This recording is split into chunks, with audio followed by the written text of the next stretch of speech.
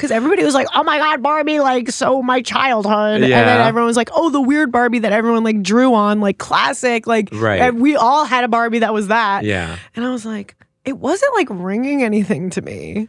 And so I called my mom and I was like, "Did I have Did Barbies?" I have a weird bar- yeah. Bar- I just assumed I had Barbies growing up because it's like, Uh-huh. yo, classic. We all had Barbies growing up. My mom was like, I don't think we had a single Barbie in the house. And I was like, I think I implanted Barbies in the house because everybody's like, well, Barbie's in the house. Do you think that there is something going on where there's like a little Mandela effect situation where ah. everyone's Oh. like, I loved my Barbies growing up. Cut to, they were never Barbies in the Cut house. to open the files. I don't see a single Barbie blurry in the in the frame in any of these childhood photos. Las Culturistas.